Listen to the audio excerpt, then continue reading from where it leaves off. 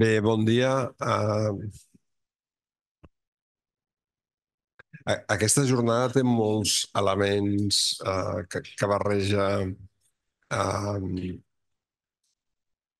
elements de record i elements de novetat, i un d'ells és aquest, no? que no tenim aquesta tirania del Zoom i hem fet una entrada com d'aquelles que fèiem abans, no? de que ens saludem, ens costa seure, comencem... bueno, agraïm-ho també, no? perquè també era una bona manera de, de començar. Eh, moltes gràcies, José Maria, director general d'Afers Penitenciaris, per acompanyar-me avui en aquesta taula, en la que parlo en nom de la directora del Centre d'Estudis, que a Corres d'Ara està eh, també participant en un acte, en aquest cas al districte administratiu, i per això m'ha delegat a mi que estigui avui eh, entre vosaltres. Eh, és una jornada que és presencial, amb això tornem també a, vells, a vells hàbits i després mm, segurament ja sabeu per què, però, però bàsicament doncs, perquè hi ha elements molt interactius que necessiten d'aquesta presencialitat que d'altra manera no, no es podria assolir. De fet, és la catorzena edició de la jornada anual de la COP de Treball Social en l'àmbit penal, moderada per l'Anna Cabanes, i eh, que és cap de programes de treball social del, del CP Dones i bueno, no pararia amb, amb, amb, amb dir tot el, tot el seu currículum. Això és el que posa oficialment als papers, però jo us vull explicar una anècdota que estàvem comentant ara, i és que eh, l'any 2005, em sembla, quan no existien les comunitats de pràctiques ni existia el programa de gestió del coneixement, eh, la que en aquells moments era la Comissió Territorial d'Assistència Social eh, Penitenciària, no només de Barcelona, sinó de tot el territori, que ja va ser un, un primer èxit.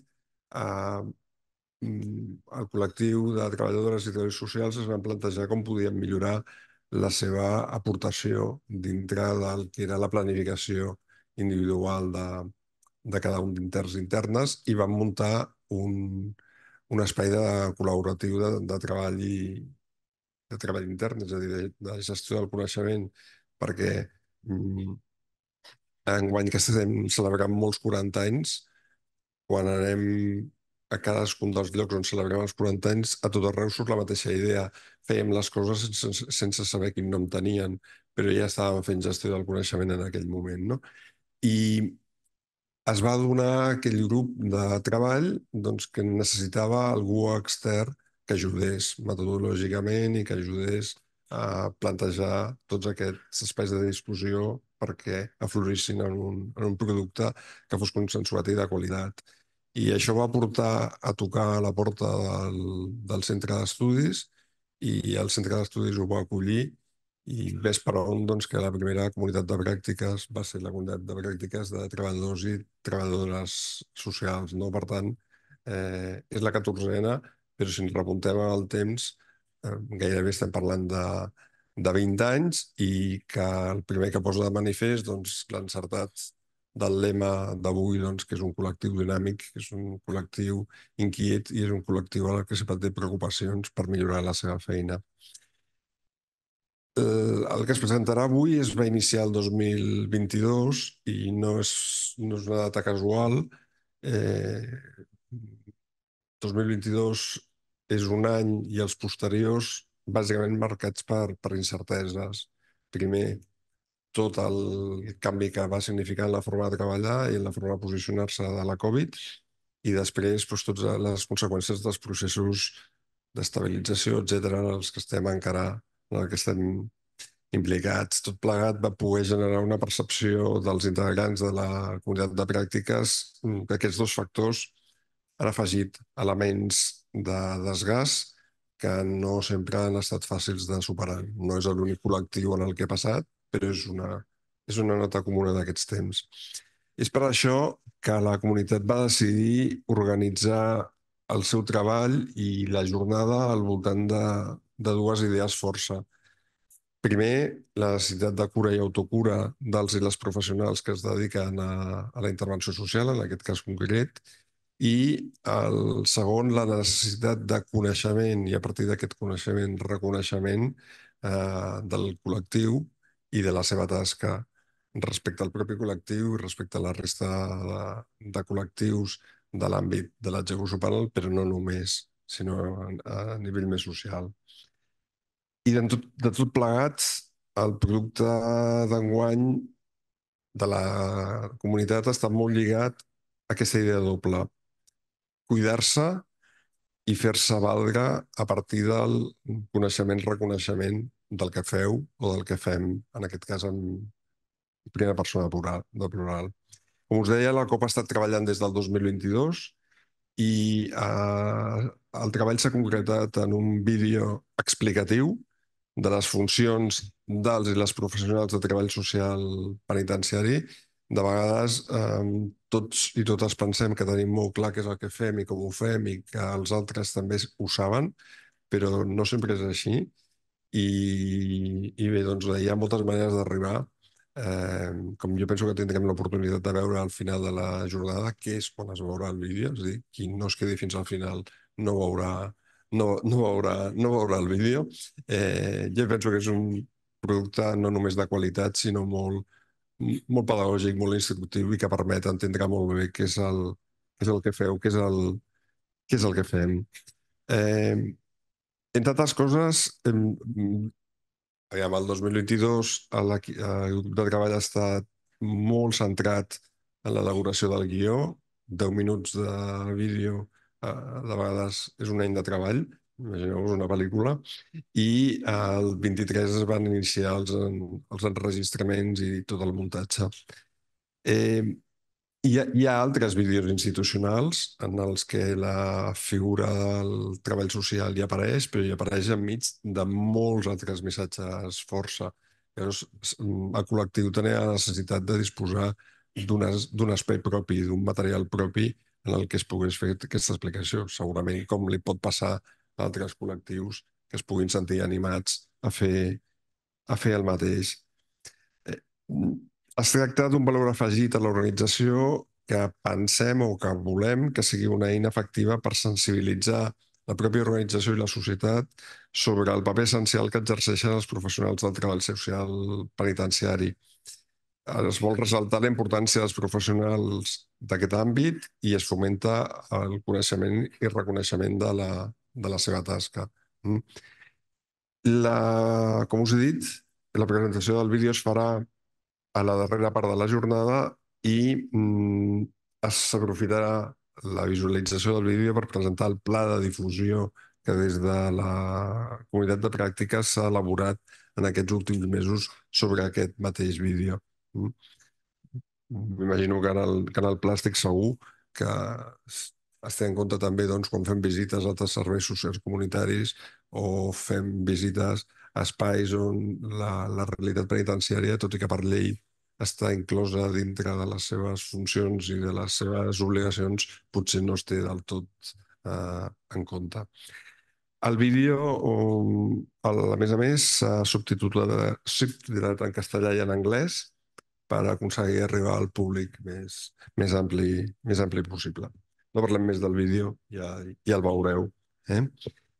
Eh, després, de manera molt ràpida, molt sintètica, perquè l'Anna em farà un repàs molt més exhaustiu que jo mateix, en la primera part de la jornada es presentaran els resultats d'una enquesta que es va fer arribar a tots i totes les professionals de treball socials a finals de l'any 23 per recollir les inquietuds del col·lectiu i dissenyar el programa de la jornada de manera col·laborativa. És a dir, aquí s'ha intentat tenir molt en compte aquesta, aquesta opinió. Eh, seguidament vindrà la part, jo crec, més, més lúdica, però alhora més participativa i més interactiva. Està programat un espectacle d'improvisació a càrrec de dues actrius de la companyia Impro, Impro Barcelona. I és per això que no podeu estar per Zoom, sinó que esteu aquí, perquè l'espectacle el farem o el fareu entre totes i tots.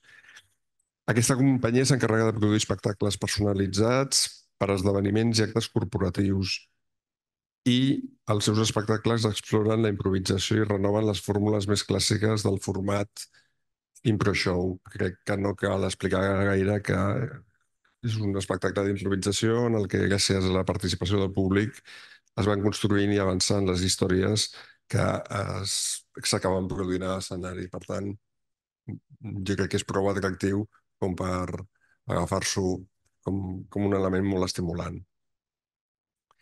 Eh, la resta de jornada tindrà un format molt més clàssic, amb dues taules rodones eh, després de la pausa. Per tant, ja us anuncio que després d'entre de, tots una petita representació tindrem temps per agafar forces.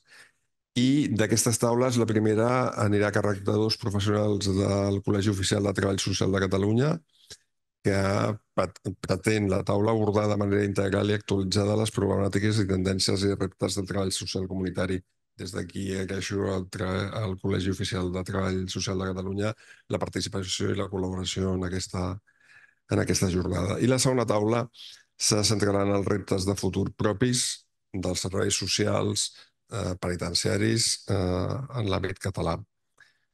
En definitiva, jo crec que el programa és una oportunitat per reflexionar sobre el sentit i el valor de la professió del treball social en l'àmbit de l'execució penal. Repeteixo la, la frase professió, perquè mm, pensem que no estem parlant només d'una especialització, sinó que estem parlant d'una professió amb tot el que això vol dir de coneixement, competències, experiència i singularitat, i mm, una manera de dialogar sobre un constituir el futur, està aquí, de la seva intervenció, sempre des d'una perspectiva col·laborativa, crítica i, a més a més, lúdica, com serà el cas d'avui.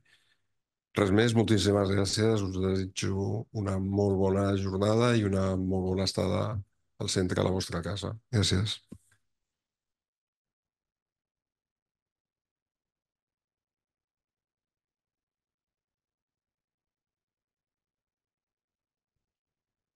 Bon dia.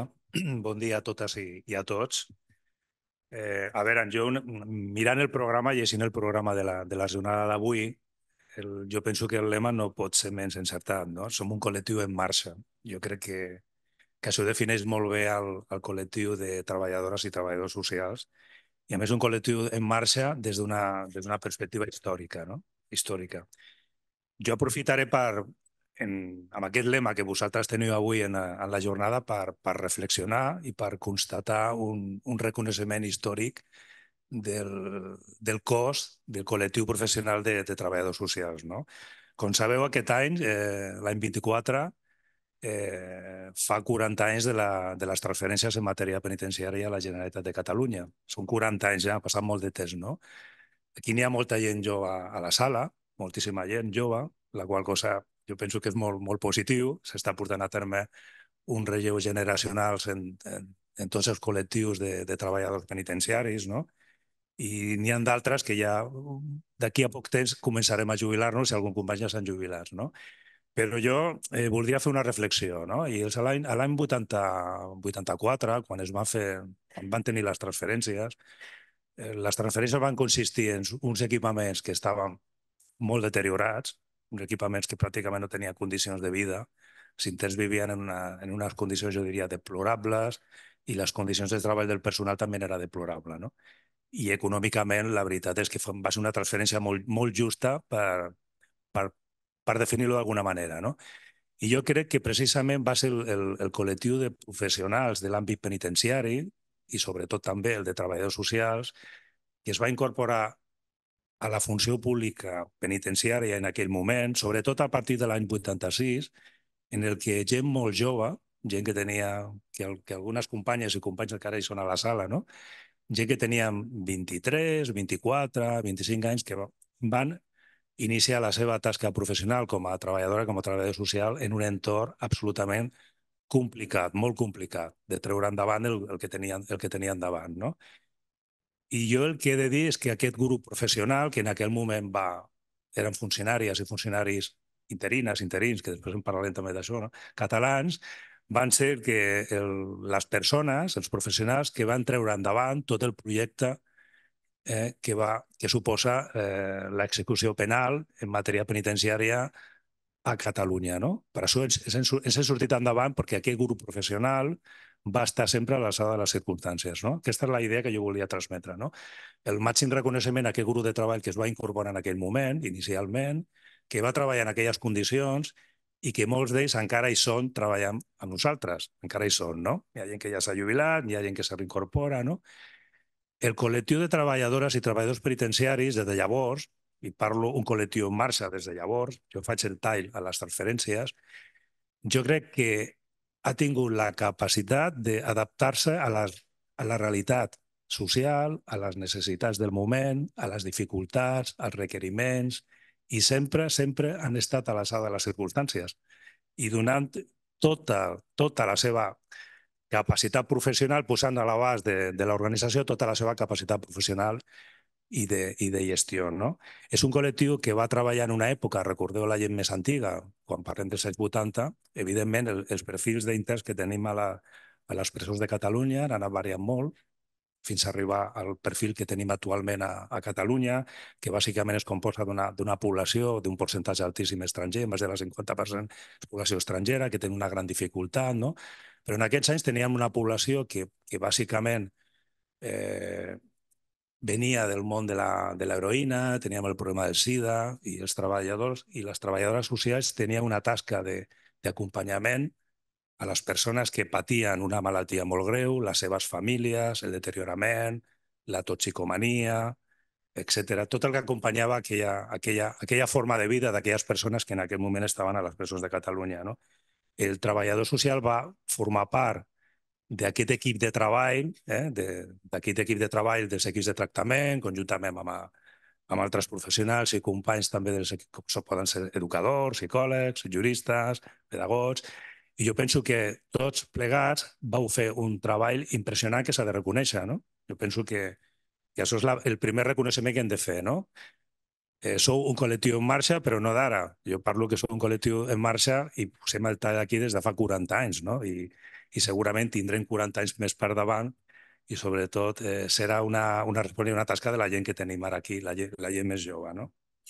Actualment el, la gent que, que hi treballeu, bueno, tenim una gran dificultat, sobretot he comentat ja que tenim un perfil de població eh, que en un, en un 50% aproximadament és població estrangera, no arrelada, que, que moltes d'aquestes persones est, estan en, en el, no tenen capacitat econòmica de vida, estan en la pobresa, les seves famílies també, i vosaltres aquí teniu una tasca molt complexa no? d'acompanyament, d'integració, a vegades una tasca de seguiment, a vegades una tasca de suport, a vegades una tasca de valoració, però no s'escapa que és una tasca molt, molt complexa i que, a més a més, no, no és una tasca que es repeteix en altres entorns penitenciaris del context europeu. El percentatge de població estrangera que tenim a Catalunya és molt superior.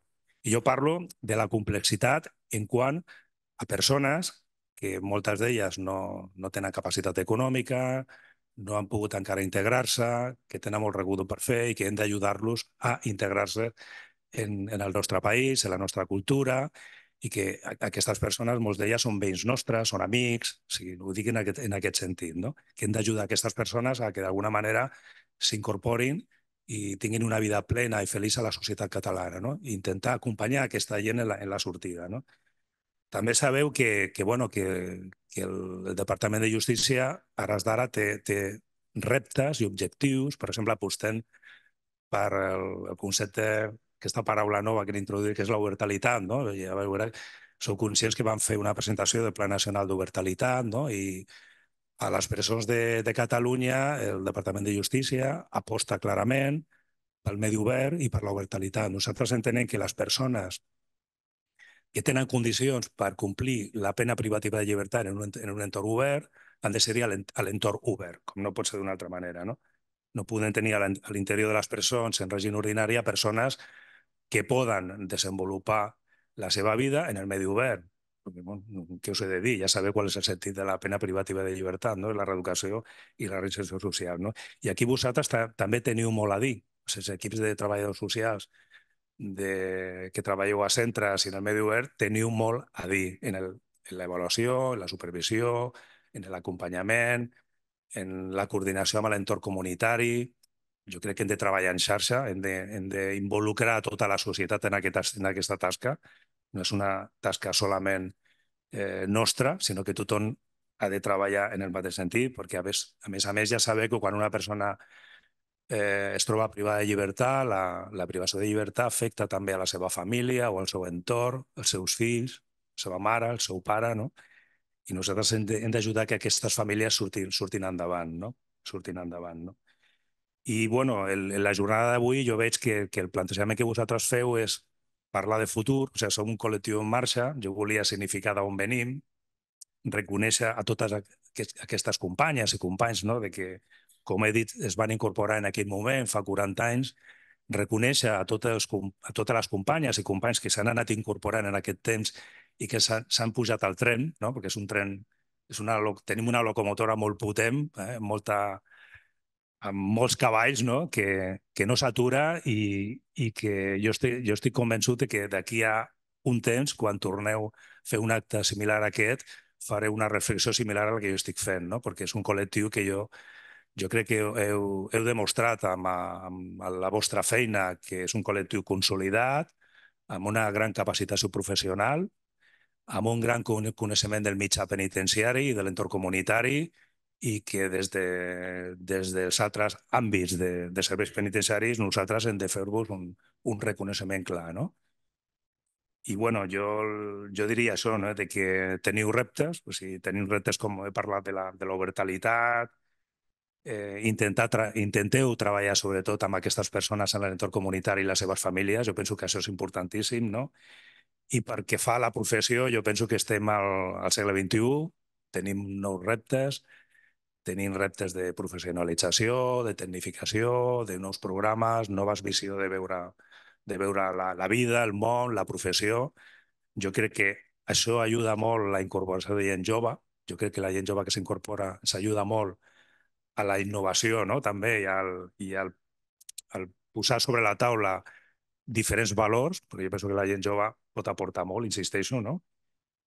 i reconèixer sobretot a la gent més antiga i a les persones que ja no hi són amb nosaltres, que s'han jubilat i que han, han estat treballant amb nosaltres amb aquesta locomotora aquests, aquests 40 anys. No? I jo, bueno, animar-vos a, a continuar, teniu tot el meu reconeixement i, i recolzament, no? i esperem que no torni a passar el que va passar con el que comentava Mar, el tema del, de la, del, del tema de la consolidació professional. Jo penso que va ser un problema pel col·lectiu de treballadors socials, al igual que altres col·lectius de la Generalitat, que les oposicions no sortissin quan havien de sortir no? i que molta, moltes persones es trobessin en una situació d'incertesa, de precarietat laboral. No? Finalment, aquesta estabilització ha donat resposta en part al problema i jo crec que el que hem de, hem de procurar és treure eh, oposicions i convocatòries molt seguides perquè aquesta precària laboral no torni a repetir-se. No? De fet, jo recordo en, ja fa un temps, quan encara el, la direcció general hi era al carrer Aragó, que parlàvem amb, amb companyes i companys, estaven parlant, però jo diuen que sí, parlàvem del tema i fins i tot pensaven, i no es podria fer un sistema d'un concurs algun tema? Bueno, van valorar el tema i al final resulta que van ser, nosaltres van ser una mica profetes, perquè al final aquest sistema és el que va, es va implementar, perquè ja parlaven que, que la llei podria permetre que, aquesta possibilitat de consolidar un joc de treball en una, en una oposició tipus concurs. No? Jo penso que va ser un, una decisió justa per la gent, sobretot per, per col·lectius que feia molt de temps que no, no es convocaven oposicions. No?